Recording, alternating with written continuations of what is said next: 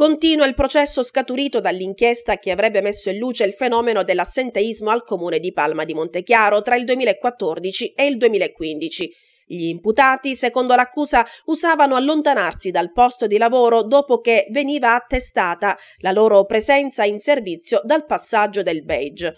Assenze che in alcuni casi duravano anche solo pochi minuti, ma che, sommandole tra loro, ammonterebbero a diverse ore sottratte al lavoro. In sostanza, secondo la tesi accusatoria, il badge attestava la presenza al lavoro, ma in realtà gli imputati si sarebbero trovati da tutt'altra parte. C'è chi sarebbe andato ad un trigesimo, chi si sarebbe allontanato per partecipare ad un convegno sulla legalità, chi per fare shopping in gioielleria, chi addirittura si sarebbe recato al lavoro con tutta calma perché una quarantina di minuti prima un collega avrebbe passato il badge per lui.